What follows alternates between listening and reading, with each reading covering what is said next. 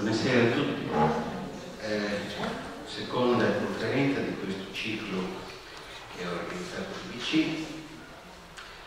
eh, su questo quartiere come è stato giustamente intitolato. La settimana scorsa Bacchelli ci ha fatto una interessante, lunga e approfondita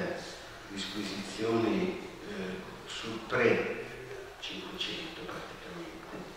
e lasciando a Annarita Angelini eh, la possibilità di entrare nell'argomento specifico del Palazzo Bocchi e di quanto c'è stato attorno a questa comunità di studiosi. Ne ha parlato anche lui, quindi non, qualcosa ha anticipato, ma ha poi rimandato l'approfondimento ulteriore alla professoressa Angelini, che appunto adesso parlerà questo tema che è un po' la chiave fondamentale di questo ciclo. Prego. Buongiorno, forse mi sentite anche senza microfono, la voce no, meglio, meglio. meglio col microfono. Allora, eh, comincio con le maggiori scuse del mondo a voi tutti, mi ero impegnata e so che Bacchelli aveva anticipato eh, il fatto che avrei proiettato delle immagini e che avrei condotto intorno alle immagini eh, il mio racconto di Bocchi, dei simboli e di questa questione enigmatica, sventuratamente ho sbagliato chiavetta, per cui con tutta la buona volontà eh, non sono in grado né di riprodurre le immagini che mi ero figurata di mostrarvi e che sicuramente sarebbero state molto più incisive, molto più significative di quello che avrei potuto dire. Eh, mi impegno in qualunque momento a tornare a farvi vedere le immagini imponendo a me stessa il silenzio e Anche quindi casa, eh, vengo anche a, se mi lasciate l'indirizzo, vengo a casa di ciascuno di voi con il mio computer e ve le mostro, sono assolutamente consapevole del fatto che eh, sia per l'argomento del quale devo trattare, cioè Achille Bocchi e i, suoi, e i suoi simboli, l'immagine infinitamente più eloquente della parola, eh, in questo caso non so che cosa farci. L'unica immagine che sono riuscita a recuperare è quella che però può fare in qualche modo da filo conduttore. Eh, se siete d'accordo, provo comunque a ricostruire un racconto cercando laddove sarà indispensabile di provare a, a, a mimare le immagini che avrei voluto mostrarvi e vediamo che cosa salta fuori. Anzitutto appunto mi scuso sia con gli organizzatori ma soprattutto con voi per fare al 30% quello che mi ero impegnata a fare. Accade, si dice che chi non ha testa e gambe, in questo caso avevo le gambe anche il motorino ma. Eh, sarei partita col mostrare, eh, ma basta che in questo caso alziate lo sguardo e funziona anche meglio, eh, un flash su eh, questi fregi e in particolare eh, sul frammento di fregio, sulla porzione di fregio che illustra l'ingresso eh, dei soldati dentro una troia in fiamme eh, stralcio dalla, dalle storie di Troia, dalle storie della, eh, perfetto, eh, della, dell'Enese eh, che vengono eh, illustrate in, in, questa stanza. Eh, perché? siamo a Palazzo Leoni, siamo in uno dei luoghi centrali di un... perfetto siamo in uno dei luoghi centrali di una cultura dell'immagine o di una cultura dell'emblema o di una cultura eh, che si esprime attraverso figure e eh, attraverso... il microfono perché sentiamo meglio la prima. Attraverso... Ecco, vedi che si sente Ok. Eh, così va bene? Partendo da qua, dicevo, eh, ci troviamo in una delle isole più significative della cultura cinquecentesca bolognese, eh, che è una cultura che ha eh, confidato assai eh, nelle capacità e nei mezzi delle arti figurative della pittura in particolare. Eh, vi verrà raccontato, vi è già stato raccontato eh, del, dei cicli d'affreschi di questo edificio, eh, non voglio dire nulla se non l'invito a sollevare lo sguardo ehm, e a entrare in una situazione che non è unica di questo luogo Bologna. Eh, Palazzo Leoni può essere un'isola di un arcipelago vasto che attraversa la Bologna cinquecentesca, alcuni nomi, eh, Palazzo Visilar di Fava con le storie di Giasone e di Medea, eh, Palazzo Poggi con un'altra declinazione delle storie dell'Eneide, eh, vi avrei mostrato la morte di Camilla in questo caso, Palazzo Bocchi con l'illustrazione dell'Olimpo pagano e delle divinità pagane e via ancora in altri palazzi bolognesi del Cinquecento. Due elementi ricorrono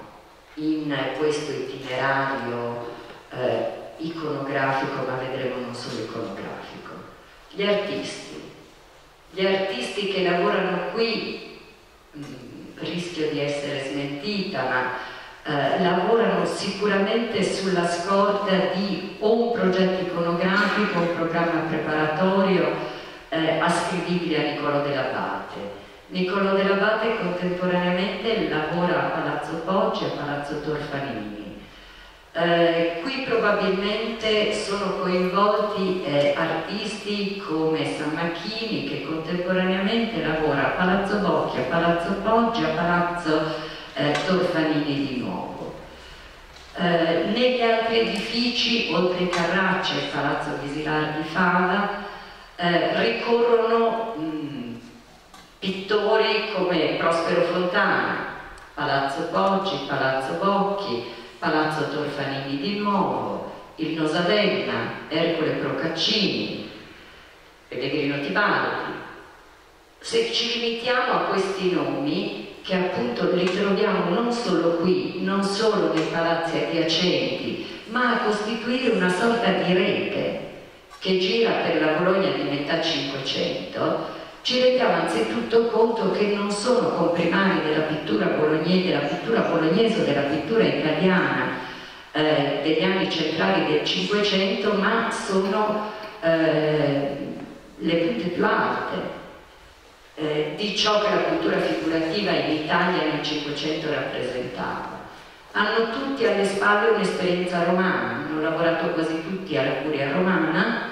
prevalentemente intorno a Castel Sant'Angelo, hanno lavorato con Primaticcio, Pieri del Vaga, eh, Raffaello e per quanto riguarda Tibaldi, eh, Michelangelo, arrivano a Bologna dopo un apprendistato di tutto rilievo stanno a Bologna per un tempo limitato e poi riprendono alcuni la strada di Roma, cioè della capitale, cioè della curia papale, altri, eh, Fontana e Niccolò dell'Abate, sono chiamati dal re di Francia a Fontainebleau per affrescare la reggia di Fontainebleau, altri come Tibaldi affrescano per Filippo II l'Escorial, altri si trasferiranno nei centri, eh, nelle capitali della eh, cultura eh, artistica nord italiana, penso a Ferrara, penso a Mantova e a Milano. Dunque in questi palazzi, bellissimi per noi, ma che sicuramente non sono corti, di una città che non è una delle grandi signorie, delle grandi capitali degli stati regionali, ma che è un capoluogo di legazione, cioè una provincia, cioè una provincia dello Stato della Chiesa. In questi palazzi dicevo che per noi sono belli, importanti, eh, straordinari, ma che eh, sono di modeste proporzioni rispetto, se paragonati, non dico a Fontainebleau o all'Escorial, ma eh, alle grandi dimore principesche di Ferrara o di Mantova o di Firenze. Ebbene, mh, mm, perché questi artisti così rilevanti arrivano qui? Perché sono loro che circolano da una dimora all'altra, perché i soggetti che scelgono. Uh, Eneide qui, Eneide a Palazzo Poggi, Orlando Furioso a Palazzo Torfarini, eh, tragedia greca e comunque mito classico a Palazzo Visilar di Fava, di nuovo mitologia classica a Palazzo Bocchi. Siamo dentro lo Stato della Chiesa, ci si potrebbe aspettare una committenza religiosa, invece una committenza laica. Potremmo aspettarci scene di genere o immagini encomiastiche del proprietario. No, abbiamo un eh, un'inversione in una cultura letteraria antica e moderna rinnovata attraverso eh, la pittura, attraverso le arti figurative. Eh, le risposte sono molteplici, dicevo Bologna non è una capitale, è sicuramente una provincia, ma è una provincia di rango. Eh, non sarà mai, né era stata in passato, una capitale, né è paragonabile alle signorie del centro e del nord Italia, non c'è un signore come i Medici, non c'è un signore come i Gonzaga o come gli Sforza. Eh, l'unica signoria che Bologna ha avuto è stata una signoria anomala e Bentivoglia, è durata poco, è stata comunque in un rapporto di amore e odio, ma comunque con un legame profondo con lo Stato della Chiesa e con il Papa e quindi non è minimamente paragonabile alle altre signorie eh, dell'Italia tra 4 e 500 però è una provincia diversa dalle altre, è anzitutto una frontiera eh, è eh, in una posizione strategica e come ora è un nodo stradale importante così lo era allora. Non c'è itinerario che possa mettere in collegamento la capitale dello Stato della Chiesa, Roma,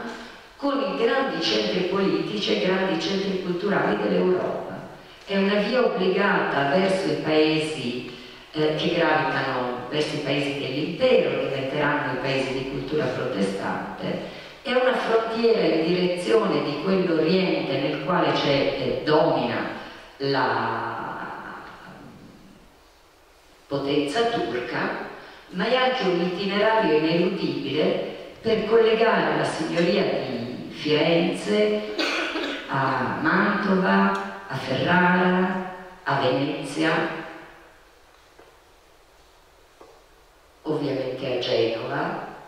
da Bologna si passa per forza e come ogni frontiera la frontiera chiude ma anche apre. Da questa collocazione geografica deriva un prestigio che la città anche eh, rientrata a partire dal 1506 entro la dominazione papale riesce a rivendicare e in ragione della quale riesce anche a rivendicare una propria autonomia pur rimanendo una provincia. Autonomia che si traduce eh, in quella formula di governo che va sotto il nome di governo misto e che vede a Bologna il rappresentante del Papa, il legato pontificio, governare insieme ai rappresentanti dell'oligarchia locale, i senatori. E allora i palazzi ai quali ho fatto riferimento poco fa, che hanno gli affreschi, i fregi, le pitture murali che abbiamo in qualche modo evocato, sono le dimore senatorie di, o sono eh, in gran parte le dimore senatorie di questa oligarchia che governa la città simulcum insieme al legato papale, insieme al rappresentante del Papa. Queste famiglie senatorie, queste dimore senatorie nelle quali le famiglie senatorie risiedono e che fanno a gara per rendere le più belle, le più importanti, le più decorate e che dunque individuano come luoghi entro i quali far convenire artisti di grande rilievo, al pari di quelli che ho nominato poco fa,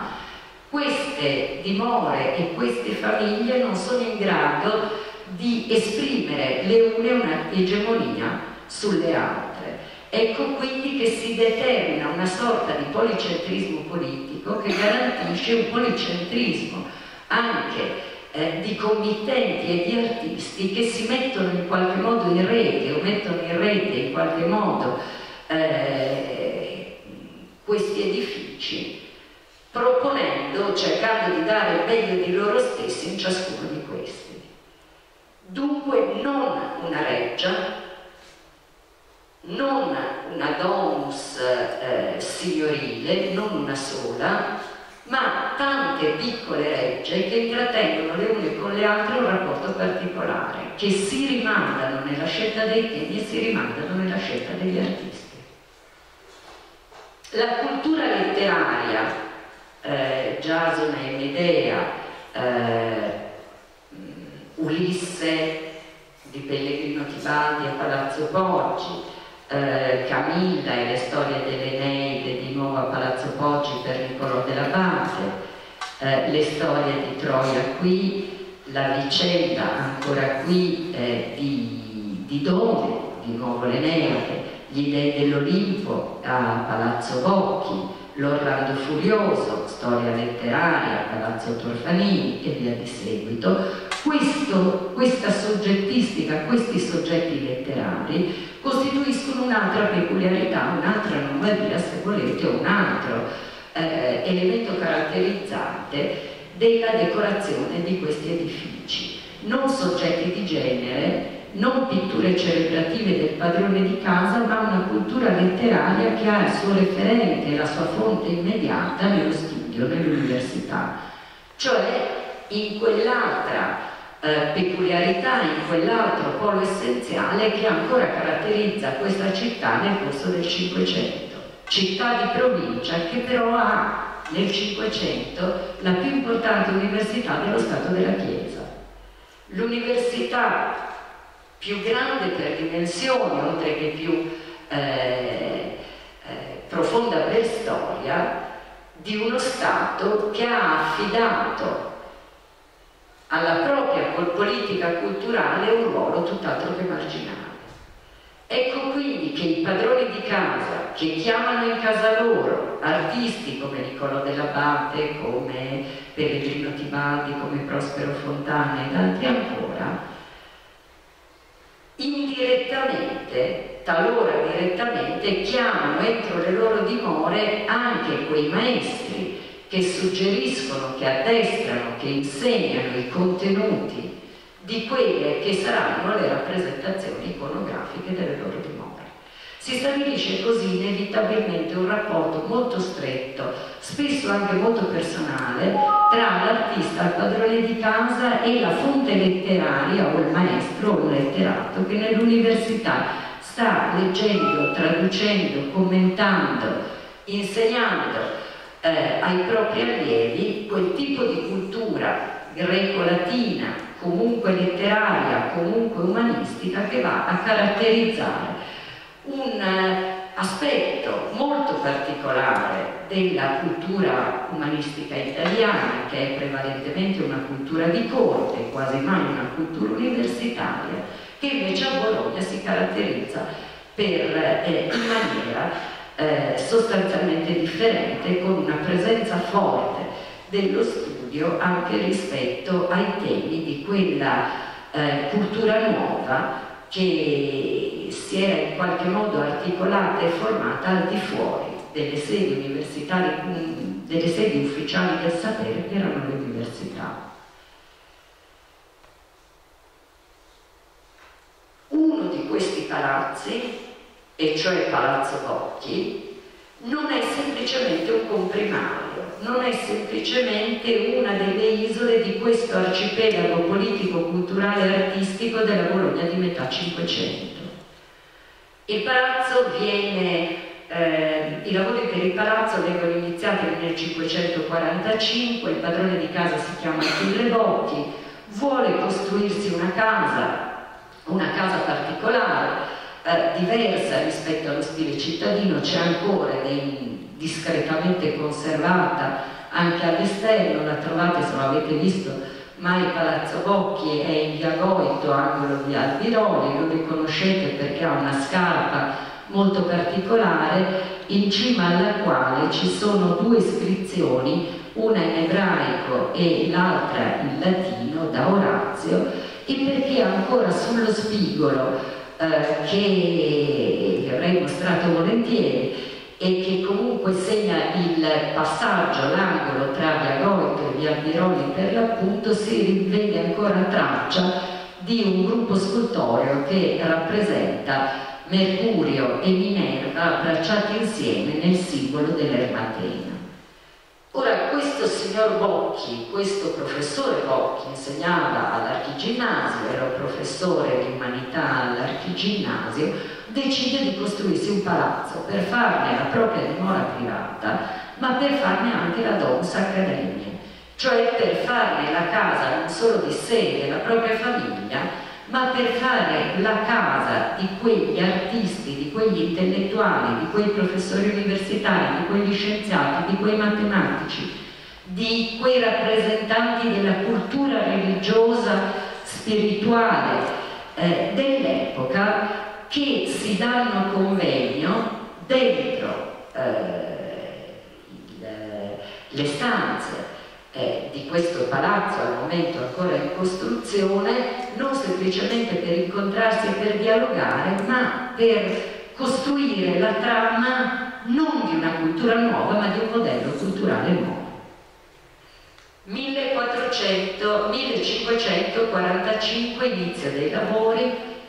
il padrone di casa Achille Bocchi ha 37 anni più o meno gliene restano 17 da vivere, nei 37 anni precedenti ha insegnato prima greco e poi umanità all'archiginnasio, ha redatto una storia patria, un incarico politico più che eh, culturale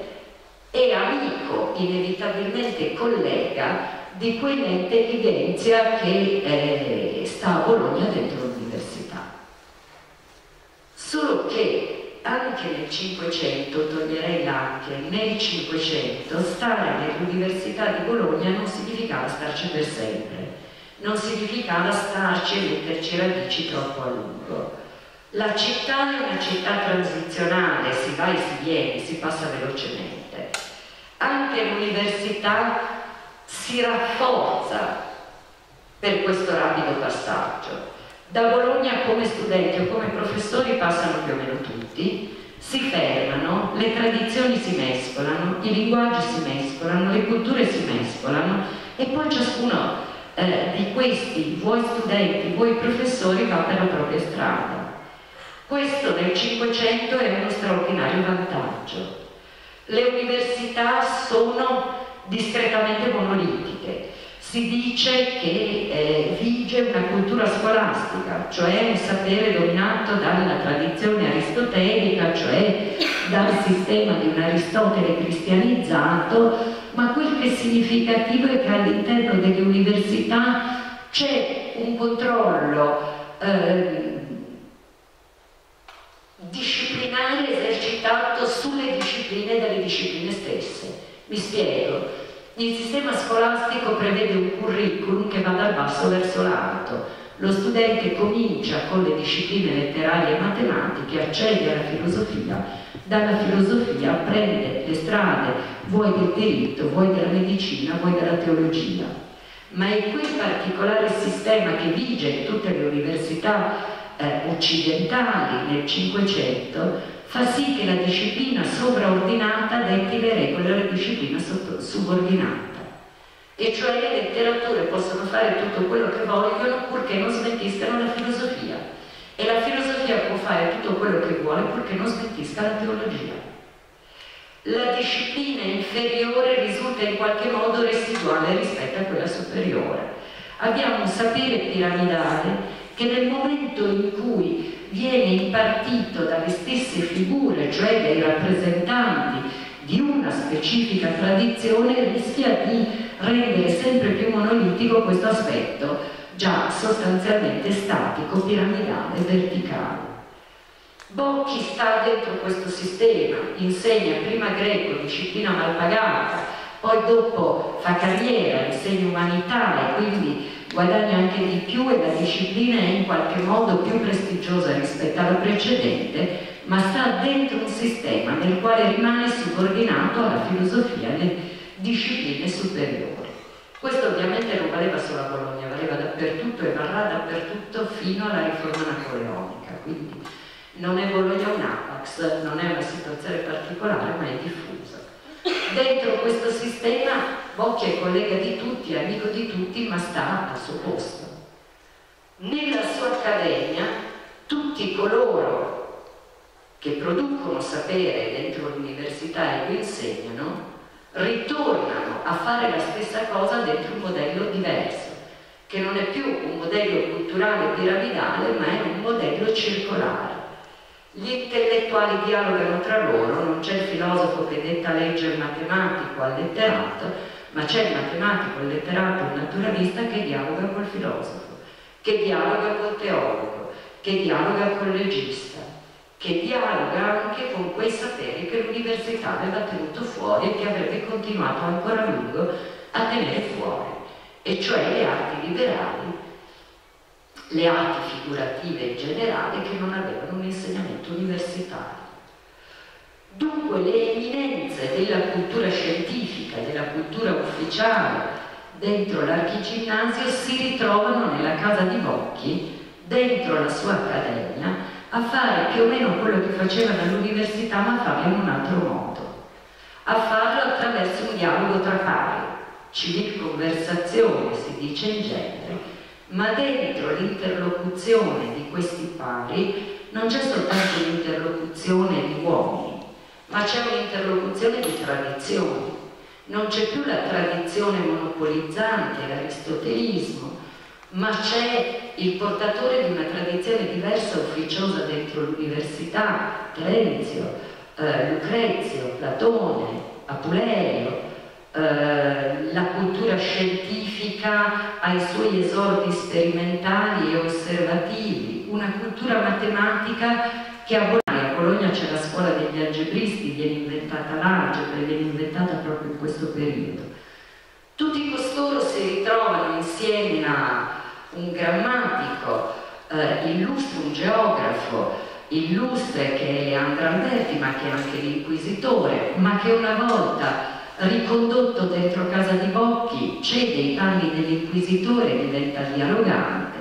partecipa alla produzione di questo sapere, che è un sapere che mette in dialogo non solo gli specialisti e non tanto gli specialisti, ma attraverso il dialogo tra gli specialisti mette in dialogo le tradizioni culturali, ma anche le diverse discipline. E dentro la casa di Achille Bocchi accanto ai filosofi, ai medici, ai matematici, ai letterati, ai teologi ci sono anche i pittori. Quegli stessi, Prospero Fontana, Nosadella, Sarmachini, Procaccini, eh, Niccolò dell'Abate direttamente, Giulio Bonasone ed altri ancora che sono gli artisti che lavorano in queste case. Perché stanno tutti a casa di Bocchi? O meglio, perché Bocchi li chiama tutti dentro l'Accademia Matena? Perché Bocchi si fa costruire un palazzo, lo fa affrescare da Prospero Fontana con immagini mitologiche e perché in quel palazzo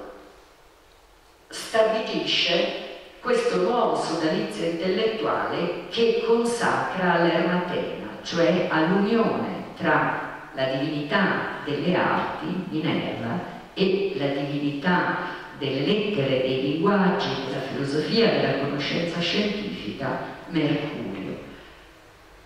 Esattamente per questa ragione, per la coscienza di dover elaborare un linguaggio che sia costruttore di una nuova formula culturale in grado non di separare i vari vettori del sapere ma di unire. Un linguaggio che costituisca l'elemento primo e originario di una cultura la quale a propria volta non solo non predilige una tradizione a preferenza di altre, ma non predilige nemmeno una grammatica a preferenza di altre. Sono gli anni in cui si consolidano le lingue volgari, si costituiscono le prime grammatiche volgari, sono gli anni del dibattito tra latino e volgare grammatizzato, normalizzato, ridotto a norma. Bocchi va oltre. Il problema non è solo quello di stabilire l'eccellenza del volgare sul latino, di quale volgare rispetto eh, a, a altri idiomi nazionali o locali. Il problema è individuare un linguaggio dell'universo genere, capace di eh, distribuirsi e di dire e di toccare qualunque ambito dello scibile e dunque qualunque ambito del proferibile. Questo linguaggio non può essere o non necessariamente deve essere la parola, ma deve essere un linguaggio che mette insieme la parola e l'immagine. L'immagine intesa non come illustrazione, l'immagine intesa come simbolo, o meglio, il connubio di immagine e parola inteso come simbolo, l'unione di Mercurio, di Mercurio e di Minerva è uguale all'unione tra un tratto disegnato eh, evidente agli occhi prima che all'intelligenza e alle orecchie e un linguaggio scritto che nella propria scrittura rechi in sé anche una memoria culturale, una memoria letteraria. Il palazzo diventa l'involucro dell'Accademia, l'Accademia diventa l'involucro di una nuova cultura che ha il proprio elemento minimo in quel simbolo che spiega Bocchi all'inizio della sua opera che lo ha reso noto, cinque libri Simbolicare Questionum, eh,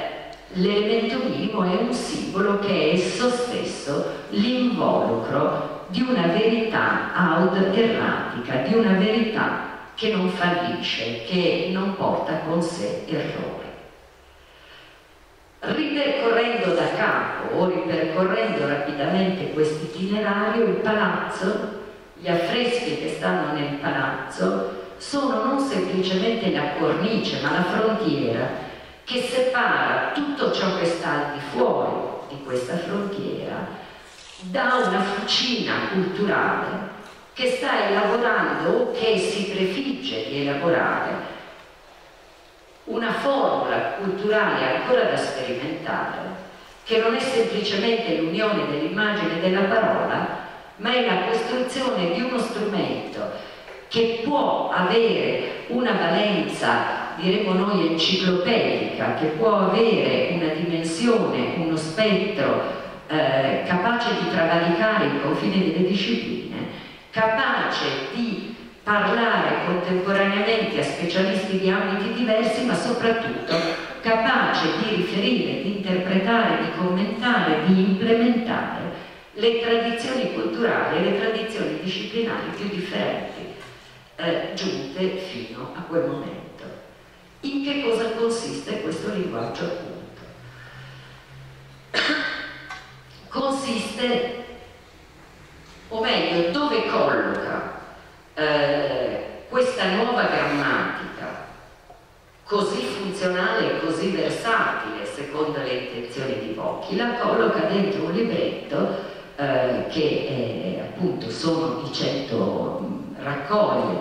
eh, i circa 151 emblemi, 151 simboli pubblicati nel 1550 dentro l'Accademia di Bocchi, che sono una cosa molto strana. Sono altrettanti poemi in versi, scritti in gran parte, diciamo quasi tutti, eh, da Achille Bocchi, dentro questi versi Bocchi va a raccogliere, a disporre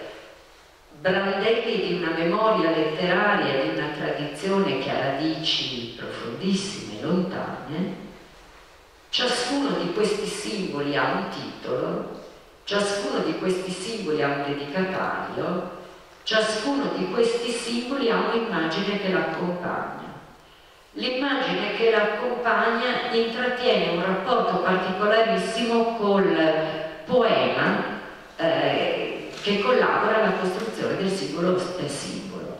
In altre parole, la parte verbale, il racconto, il poema apparentemente non ha nessuna attinenza con l'immagine. L'immagine non è un'illustrazione,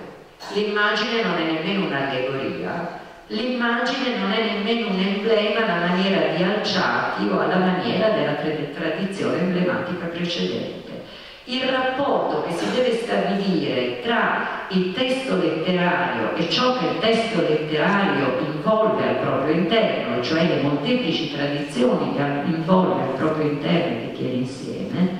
ha un rapporto sicuramente sostantivo ma non immediato con l'immagine eh, che lo affianca. Noi spesso non lo capiamo, ma secondo Bocchi i membri del suo sodalizio culturale, i membri della sua accademia lo capiscono, debbono essere in grado di capirlo. Per andare a vedere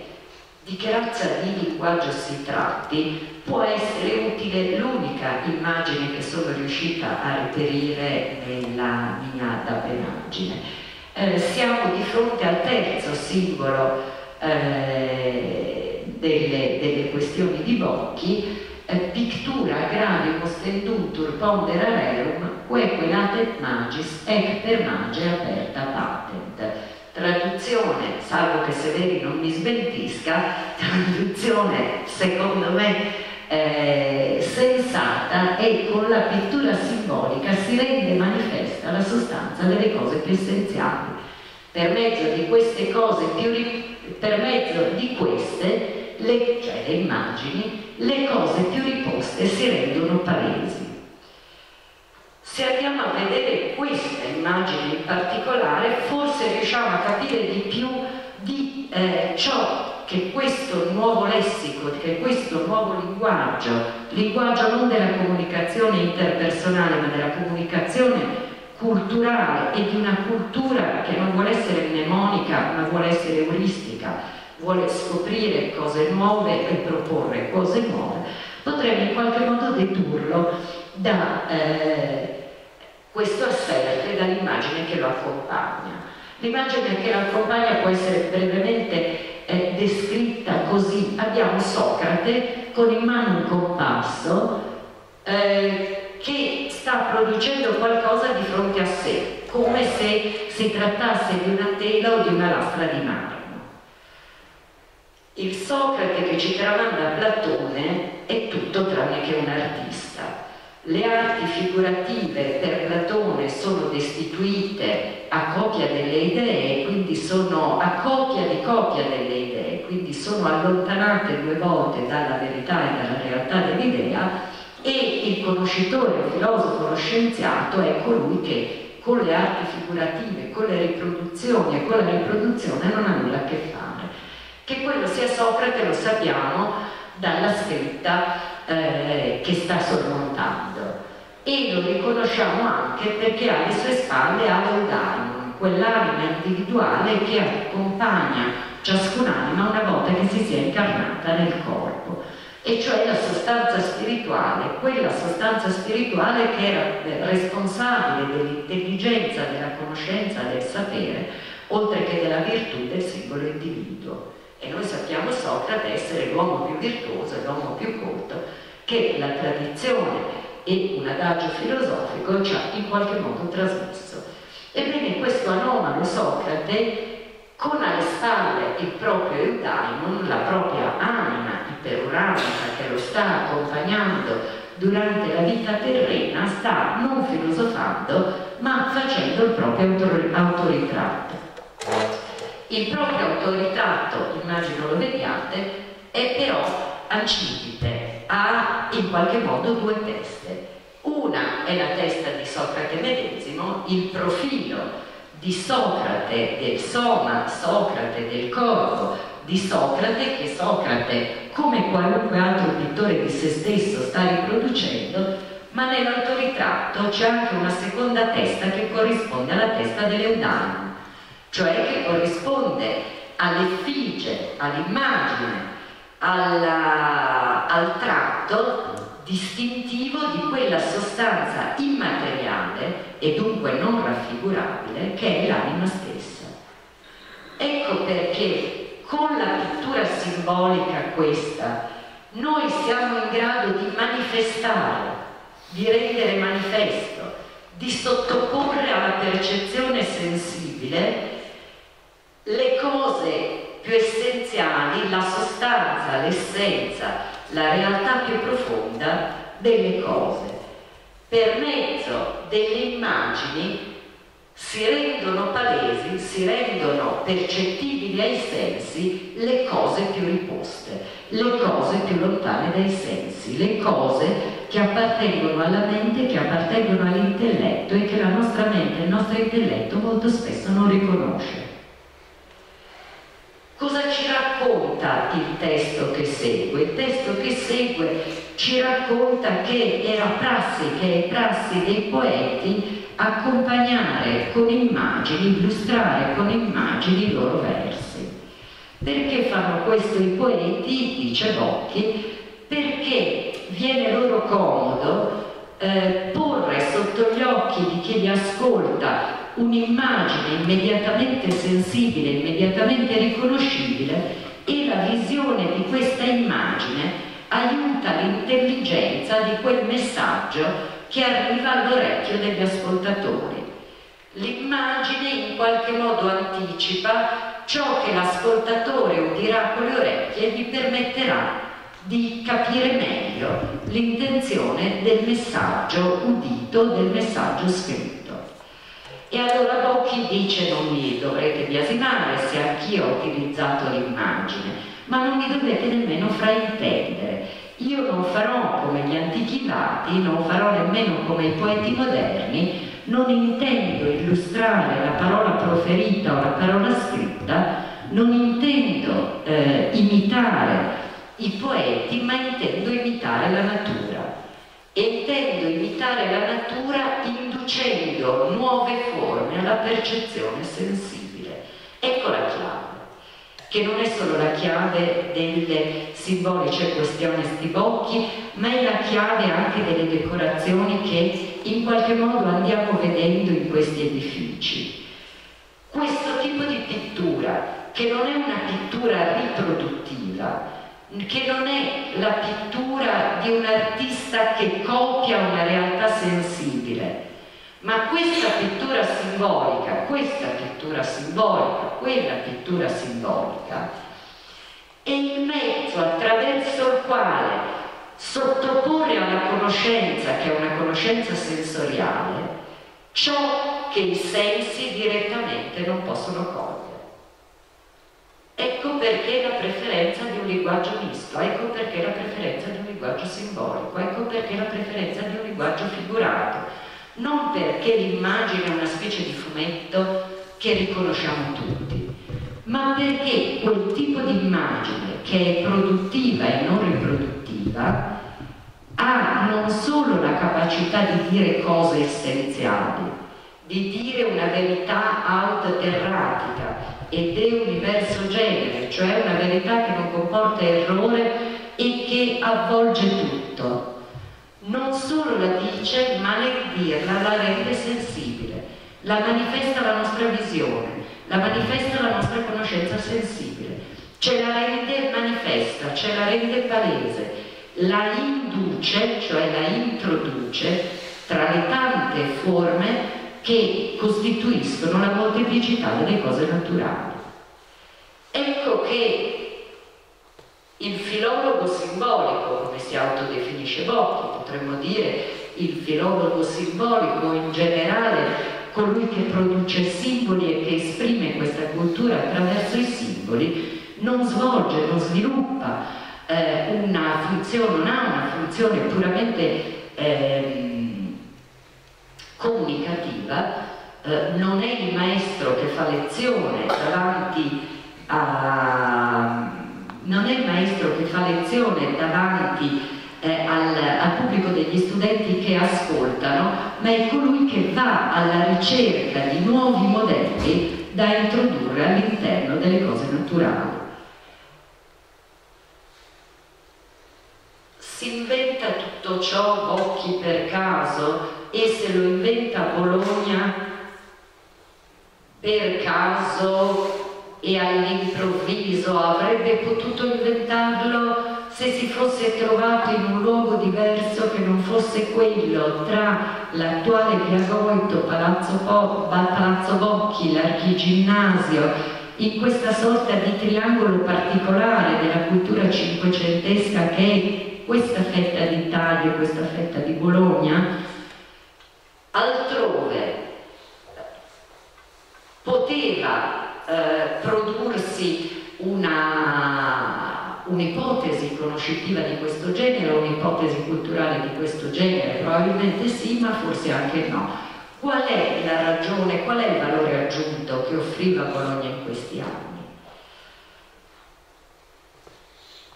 Quella di uno, lo definirei un, uno sperimentalismo simbolico iconografico del tutto particolare. In questi anni un maestro dello studio, Filippo Fasanini, edita per la prima volta gli, i geroglifici di Orapollo. Cosa sono i geroglifici di Orapollo? Sono un eh, codice che viene eh, ritrovato in Grecia e riportato in qualche modo alla luce che contiene delle immagini interpretate. Ma queste immagini interpretate, attribuite a una prisca antichità, un'antichità remotissima nel tempo, vengono interpretate come le cifre di un linguaggio divino riferito in qualche modo a una sorta di profeta ed interlocutore degli dei. Questo linguaggio di geroglifici che ha eh, il suo ehm, profeta nel mitico Apollo non è semplicemente un linguaggio associabile o paragonabile ad altri linguaggi, ma è la trascrizione per immagini di una parola divina, che non solo è divina, ma ha il valore aggiunto dell'antichità remota. Siamo ancora in un ambito di pensiero per il quale ciò che è più antico è anche più vero. Per cui questi geroglifici, che sono più antichi di Mosè, sono carichi di una verità che il tempo non ha deteriorato. Ebbene, questi geroglifici vengono eh, studiati, vengono editati, vengono eh, poi pubblicati da un maestro dello studio di Bologna che è Filippo Fasanini. A Bologna viene inaugurata la prima cattedra in ordine di tempo di ebraico, eh, dentro la quale, o a, o a potere della quale, meglio ancora, dentro l'archiginnasio era meglio stare abbastanza cauti, veniva in qualche modo riproposta a Bologna la tradizione cabalistica, e cioè quella tradizione iniziatica che pure si avvale di simboli, eh, che aveva eh, espresso una parte della cultura ebraica. I simboli cabalistici sono i simboli di un linguaggio non comunicativo ma creativo. Attraverso i simboli della Cabala il cabalista non parla, ma e non solo comunica con la divinità, ma può riprodurre quello stesso linguaggio attraverso il quale la divinità ha creato l'universo. Anche questo è un linguaggio simbolico. A Bologna arriva dall'Oriente un tizio particolarmente strano eh, che si chiama Paolo Scalicchio De Lica. Lavora a Bologna, Bologna propone una rivoluzione alfabetaria, cioè la costruzione di un alfabeto simbolico che mette insieme Kabbalah, immagine naturalistica, lingua greca e lingua ebraica. Si dice allievo di un altro illustre allievo dello studio bolognese, e questo illustri allievo dello studio bolognese, sono certa, ne, ne avrà parlato Bacchelli e Giovanni Pico della Mirandola, che proprio eh, in questi termini, in termini analoghi a quelli che riprenderà Paolo Scalicchio De ripropone il simbolo e il simbolo cabalistico con una funzione in funzione eh, conoscitiva e non semplicemente interpretativa. A Bologna, lo dicevo prima, in questi anni Scipion dal Ferro, Tartaglia, eh, Carnano animano quella che si chiama la scuola degli algebristi bolognesi. Qui ci si inventa una nuova lingua che è la lingua dell'algebra. Qui ci si inventa una lingua che non solo è nuova, ma che quando va a risolvere le equazioni di terzo grado, per la prima volta si rende conto che è possibile rappresentare geometricamente e calcolare numericamente qualcosa che non esiste, cioè un debito. La soluzione delle equazioni di terzo grado che introduce i numeri immaginari, cioè la radice dei numeri negativi, introduce anche radice di un numero negativo la diagonale di un triangolo negativo, cioè di un triangolo che non esiste. Possiamo calcolare grandezze che non esistono, ma possiamo anche rappresentarle graficamente. Su questo viene a costruirsi il precipuo linguaggio dell'algebra che non si riferisce a cose, ma si riferisce ad algoritmi. Di nuovo l'immagine. Di nuovo l'immagine intesa come immagine simbolica che va a coniugarsi con l'immagine naturalistica riproposta però in forma assolutamente astratta e non riproduttiva attraverso un altro personaggio che circola in questi anni a Bologna, che è membro dell'Accademia di Bocchi, che è collega di Bocchi, che è parte di questa cultura e che è Ulisse Aldrovandi. Ulisse Aldrovandi fa di tutto, fa il collezionista, chiama eh, a casa propria o comunque nel proprio eh, laboratorio una quantità di artisti e fa loro copiare oggetti, ma non fa copiare oggetti al naturale, fa copiare gli oggetti utili, in modo tale da restituire attraverso l'immagine ciò che manca alla realtà. E dice una cosa straordinaria ai suoi artisti, non dipingete l'ombra, non dipingete l'ombra perché l'ombra ci dà l'idea della terza dimensione, della solidità, di ciò che è tattile, di ciò che possiamo toccare, cioè di ciò che è individuale. Se io dipingo una mela e le faccio l'ombra, io sto dipingendo quella mela. E questo non interessa a Aldrovandi, a Aldrovandi interessa la mela in generale. E dunque in questo caso la sua pittura non riproduce una realtà concreta, ma riproduce un modello, anzi produce un modello. Ora, se mettiamo insieme la Kabbalah, se mettiamo insieme il linguaggio degli algebristi, se mettiamo insieme questo finto linguaggio naturalistico eh, che Aldrovandi e Ligozzi, che lavora per lui, eh, ascrivono a quel genere di pittura. Se ci mettiamo la rivoluzione alfabetaria, se mettiamo gli ieroglifica di Orapollo, se mettiamo un altro straordinario personaggio che arriva a Bologna in questi anni a studiare diritto, ma che non influisce sull'insegnamento del diritto, ma sulla formazione di una cultura simbolica, Alciato, eh, autore di un libro di emblemi a propria volta, ecco che vediamo che a metà del Cinquecento esplode questo tipo di sapere. È un sapere peculiarmente umano perché viene costruito, non è una lingua rivelata, eh, non è nemmeno una lingua antichissima della quale si è persa memoria nel tempo e che attraverso un lavoro di scavo filologico è stata riappropriata, ma è una lingua della quale è possibile servirsi per costruire cultura, per eh, produrre un tipo di cultura che è estendibile nella vita,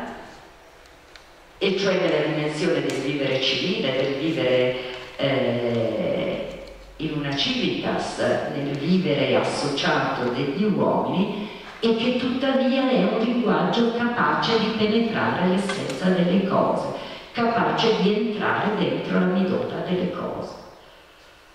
Uh, C'è un altro emblema che eh, posso solo... Uh, quanto tempo? No, siete provati? No, avanti, vi annoiate? Allora potrei produrvi una specie di messa in scena, mimare il simbolo, cosa che peraltro ho già fatto, quindi potrei provare. C'è un altro simbolo eh, di Bocchi che è dedicato alla, ehm, inclusione dentro l'Accademia Ermatena di un nuovo socio. Il nuovo socio è Girolamo Sauli, che è un cardinale della città di Bologna. Eh, abbiamo un testo che più o meno reciterò eh, a memoria e abbiamo un'immagine che è così concepita. C'è una signora, una ragazza, eh, seduta a terra con le braccia aperte a compasso, più o meno così. Con la mano destra tiene un vero e proprio compasso che lo fa ruotare per terra e con la mano sinistra indica una nuvola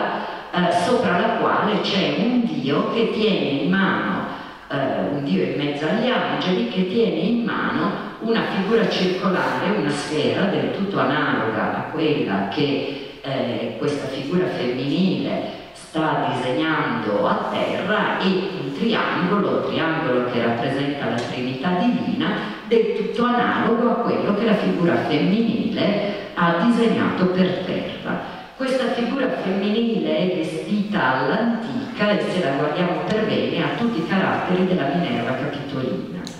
Questa Minerva Capitolina con le braccia aperte a compasso tiene un compasso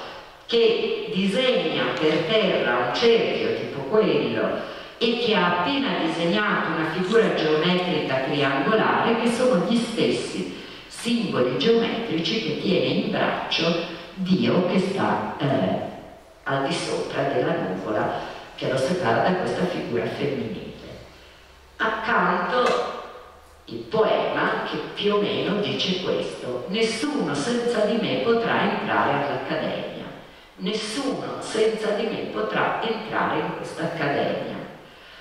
La memoria va subito a ciò che la tradizione tramanda essere iscritto, essere stato iscritto davanti all'Accademia Platonica di Atene. Nessuno senza di me può entrare in queste stanze i simboli matematici, nessuno senza di me può entrare dentro l'Accademia di Platone.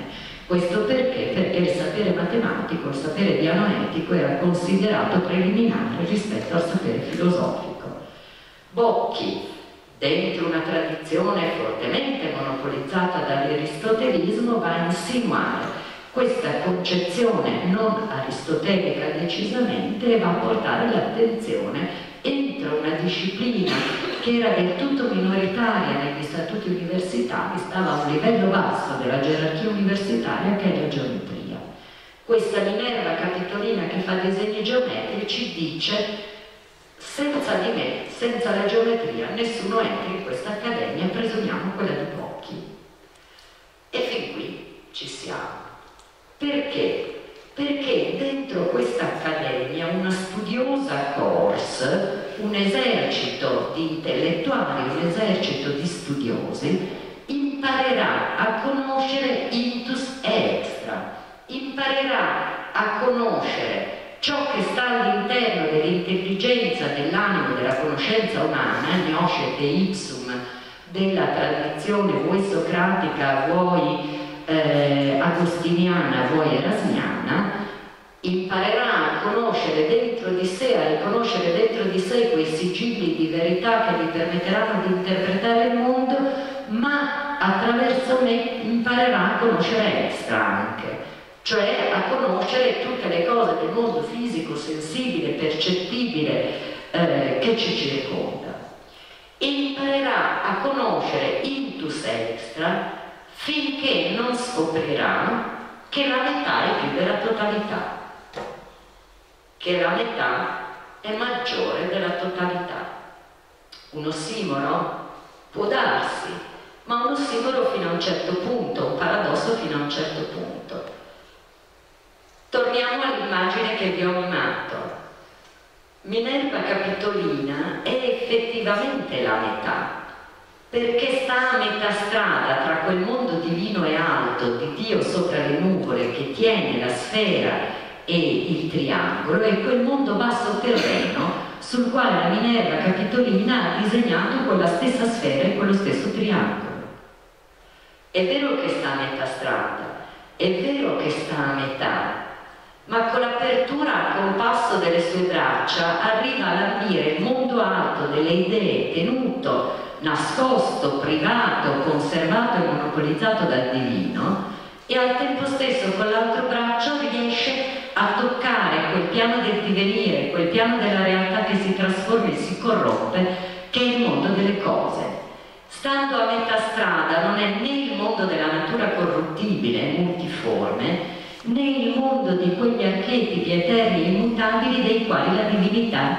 è, detiene il monopolio ed è gelosa. E tuttavia dalla metà che occupa è in grado di abbracciare, di arrivare a toccare sia la verità alta sia la molteplicità delle cose.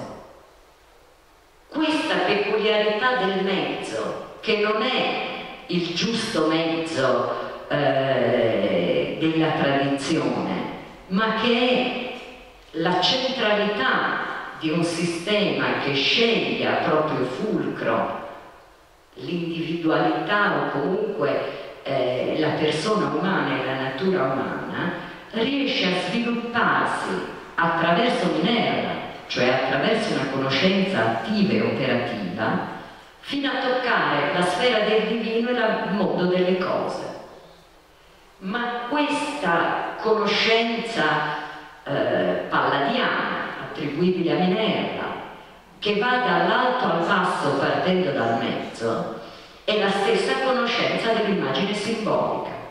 che ha una veste sensibile, concreta, tangibile, percettibile, che vediamo con gli occhi, che tocchiamo con le mani, che è quella dell'immagine involucro di un contenuto essenziale, ma che al di sotto di quel contenuto trattiene, contiene, eh, richiude in se stesso quella quella sostanza profonda ed essenziale remota ai sensi delle cose medesime. La metà è più della totalità. Entro l'accademia vige e dunque entro la cultura simbolica, entro il linguaggio del simbolo, vige un tipo di conoscenza che nel momento e che fin tanto che insegna a conoscere intus, a conoscere la propria facoltà conoscitiva e intellettuale, induce e permette di conoscere extra, di conoscere il mondo delle cose, di interpretarlo e di conoscere ed interpretarlo al punto da poter indurre nuove forme nell'ordine della natura. Ma mentre fa questo, rompe anche qualunque rapporto con ciò che sta al di fuori dell'Accademia e con ciò che sta al di fuori di questo linguaggio simbolico il nuovo membro dell'Accademia per entrare a far parte dell'Accademia deve non solo possedere questa sapienza di Minerva, ma deve avere imparato che la, totà, che la, la metà è più della totalità. Ma fuori dall'Accademia Matena, fuori dal Palazzo di Bocchi, un asserto di questo tipo farebbe semplicemente ridere il governatore Sauri che andasse in giro per la città a dire che è meglio metà che l'intero sarebbe ovviamente deriso. Dentro l'Accademia quella diventa una, la cifra di una comunicazione tra adepti, diventa la cifra di un sapere non iniziatico ma sicuramente elitario, sicuramente esclusivo, che riconosce se stesso e riconosce coloro che lo condividono ma che ovviamente non ha né la pretesa né la disponibilità di essere diffuso a tutti e di essere elargito in una comunicazione di tipo quotidiano. Um, questo, uh,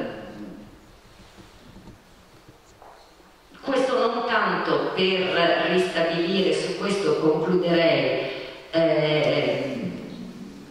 una sorta di sistematicità dal palazzo all'emblema, dall'emblema al simbolo eh, del personaggio Bocchi, ma eh, il suggerimento a osservare ovviamente non tutta, ma una parte consistente della pittura bolognese eh, del medio Cinquecento, eh, come caratterizzata da questa stessa istanza chi dipinge questi fregi e chi dipinge eh, i vani di questi edifici, uno questo medesimo,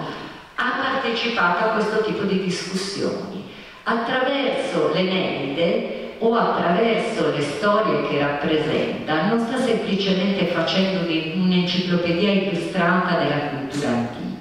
ma se andate a vedere per bene, a guardare i dettagli, guardare anche i rapporti tra le forme, le dimensioni, la peculiarità attraverso la quale è restituito il movimento, i punti nei quali la figura ha un'ombra portata e i punti in cui non li ha. Eh, se guardate per esempio l'immagine che ho di sopra, noi abbiamo una eh, figura, la figura di un eh, bambino, di un punto che ha soltanto la cosiddetta ombrina, l'ombra di ancoraggio, quella che permette di percepire la figura come attaccata al suolo, mentre l'ombra del guerriero è l'ombra portata di una persona fisica e altro. Bene, questo non è stile. Questo non è semplicemente ascrivibile alla maestria, alla scuola, all'abilità o a, al tratto di un autore, è parte costitutiva di questa modalità culturale, di questa modalità eh, conoscitiva che viene elaborata non da una persona sola, ma da una studiosa corse quale, della quale fanno parte letterati, pittori, artisti, filosofi, ma anche incisori, ma anche collezionisti e altro. Ed è un momento alto della cultura locale. Vi ringrazio e ancora mi scuso e mi impegno a farvi vedere solo immagini. Ah, io credo che sia stato un detto apposito quello di non portare la chiavetta perché effettivamente il, eh, lo scorrere delle sue parole sarebbero state forse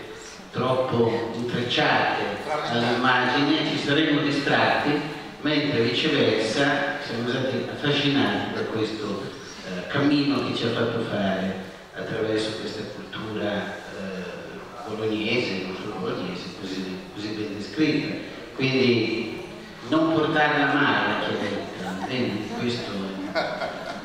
direi troppo buono. Un consiglio che ti do e che credo sia condiviso da chi ti ha ascoltato con te